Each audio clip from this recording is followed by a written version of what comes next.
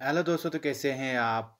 भारत और south Africa के बीच खेले गए दूसरे टेस्ट मैच में जो कैप्टून में खेला जा रहा है, उस टेस्ट मैच में भारतीय टीम ने बहुत ही बेहतरीन प्रदर्शन किया है। बात करें, साउथ अफ्रीकन टीम सिर्फ़ पचपन पे ऑल आउट हो गई, जिसमें मोहम्मद सिराज ने छः ज़बरदस्त विकेट लिए।